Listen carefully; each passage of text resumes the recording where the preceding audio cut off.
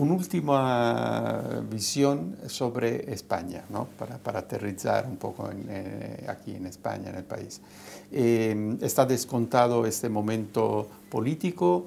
Eh, la, España se está acostumbrando a una mayor incertidumbre de la política respecto al pasado mm, donde estaba la alternanza política. ¿Cómo, cómo, cómo se vive, se habla de ralentización, pero sigue el crecimiento todavía bastante bueno, ¿no? Yo creo que esa diferencia de cambio político que ha habido, de ese bipartidismo a distintos bloques, siempre y cuando se mantengan dentro de una coherencia económica, eh, no debería de tener un impacto significativo en los mercados, fundamentalmente en los mm. mercados de deuda. Yo creo que el mejor ejemplo es lo que vivimos el, el año pasado. ¿no? todos los problemas políticos internos que tuvimos, cambios de gobierno y demás, la incidencia fue mínima.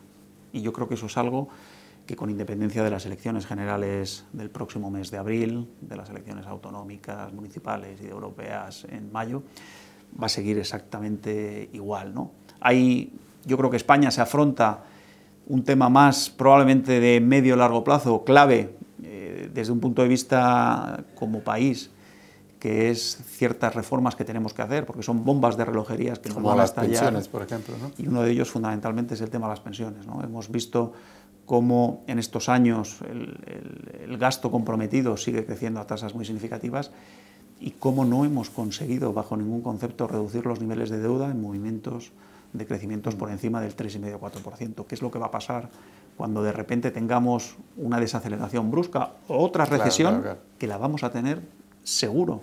No sabemos si será en 2022, 2023, 2021. ¿Qué es lo que va a pasar? Ahí se necesita un compromiso, un compromiso para hacer esa reforma, porque sin esa reforma no vamos a poder afrontar los retos que la sociedad. ¿no? Ese es el más problema a largo plazo. A corto plazo, la situación de las compañías, que es lo que miramos, que es lo que nos preocupa, sigue siendo en términos generales muy buena. La economía interna, sigue creciendo. Seguimos siendo probablemente la economía de los cuatro o cinco países de la, zona euro los que más crecemos. Y en el corto plazo esa inercia se, va a mantener este año seguro y muy probablemente también en 2020. Bueno, con esta visión positiva y con fechas también. Te agradezco mucho esta charla, esta, esta, reflexión y nada, y esperamos encontrarnos en otras ocasiones para comentar lo que ha pasado lo que hemos, después un poco de tiempo. Encantado. Encantado, un placer.